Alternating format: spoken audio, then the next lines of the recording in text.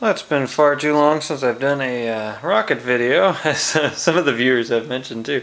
So I thought it was high time we get into another rocket video. So anyways, thought I'd show you what I got going so far. This is just a, I don't know, couple inch uh, wide tube, gift wrap tube.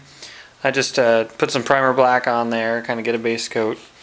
Um, and then this is a little bit smaller, like inch and a half or inch and a quarter or something and I uh, made a little balsa wood nose cone um, on the uh, you know lathe there. You could do this in the drill press. Actually, I think I did this one in the drill press. I had it lying around.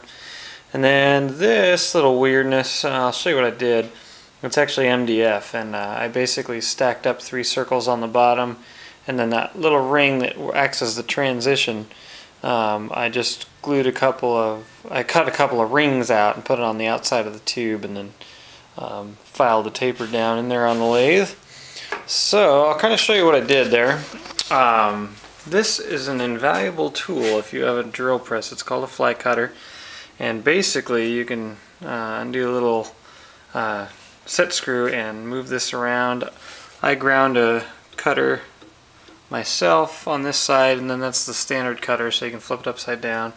But anyway, um, it allows you to cut inside circles and outside circles um, and I, I just cut a bunch of circles with this and you know, I'd test fit it um, until I got it right and then use that to create those transitions. Um, I'll attempt to put this together real quick and show you what it looks like. So probably hard to see in this crazy lighting, but you know, there, there it is together. Got to take it apart quick because that glue or that uh, uh, you call paint's still a little bit tacky. Yeah, I'll go ahead and sand this down a little bit after uh, this stuff dries to get rid of that cardboard goofiness. And then I'll put probably that metallic blue on it because that's what I have lying around. Uh, also, I got a few fins I cut out that I made kind of like, I was thinking this thing could be kind of looking like a missile a little bit. So uh, those are plywood. Again, just stacked them up, cut them out on the bandsaw, and then sanded down the edges. Uh, I'll go ahead and get this stuff a little bit more together and show you the progress. Well, this is another thing. I don't know if you'll be able to see very well on the camera, but um, if you saw on the previous little clip there, um, there's a lots of lots of fuzz that comes up when you're spray painting cardboard, especially this cheese ball stuff that I have. So anyway, I took uh, some steel wool and just went all over this, and it knocked it down. You can kind of see it looks pretty even now. And that'll help, you know. Ah, that's actually a good angle with the light. Uh, takes off that little fuzz. This one was even worse, I think. But uh, that way, you know, after your little base coat there, you can let that dry. And then uh, that'll help that out as far as your little better finish. I'm no pro finisher, no pro painter, but um, that seems to work alright for me. I should have taped that off. This is a part that goes inside the tube. Actually, got paint on it the first time, but I'm going to tape it off for the rest of the coats. So when you guys make yours, I'd tape off anything that's going to be inside the tube. Otherwise it'll have a tendency to glue it in there. So I'll get this going and show you more later. So I'm working on the little motor mount here, just glued it up with a D-size motor in there, and then um, so I'd show you this doing the cardboard. Um, I actually like using a uh, what you call it, X-Acto knife on this versus scissors because otherwise the cardboard bends all over the place. But I've done both and it works. Um, more info on the whole making the motor mount, just check out my little rocket making videos and I'll get this going, show you when it's done. Alright, so here's a little motor mount ready to go. Doesn't look very pretty. As you can tell, the uh, circles around the mounts aren't very exact, which is okay. I just wanted to show you how rough these things could look and still uh, be fine. As long as it fits in there, the glue is going to fill in those gaps. I'm going to hot glue this one.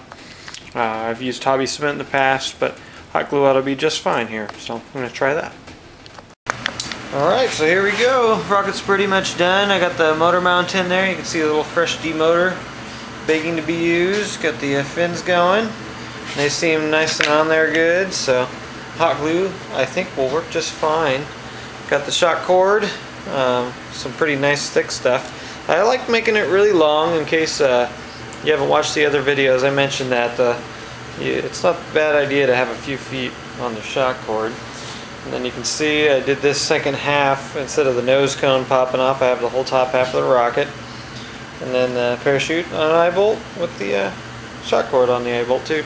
Went pretty small on the parachute actually. I think this thing's 20 inches across, which for a rocket that's I think five feet long and, and fairly heavy isn't much. Um, but it's pretty windy out where I live, and I'm kind of don't don't want this thing to travel too far. So we'll see how that does.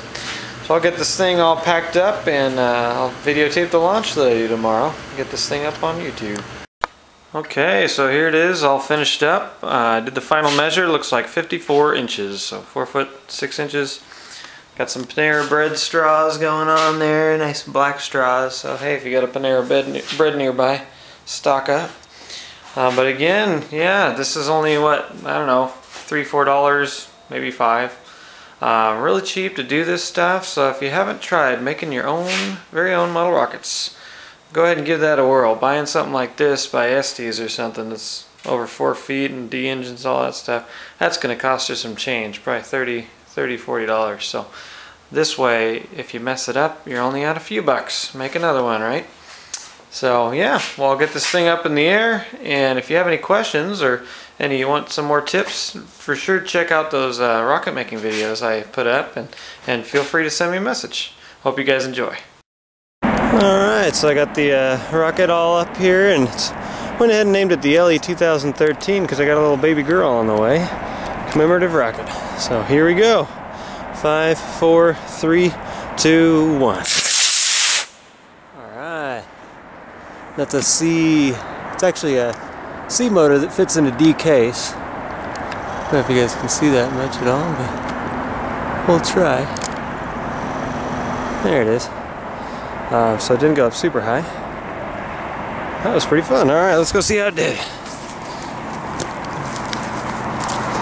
I'm getting lucky here with them falling less than 100 feet away. It's kind of nice.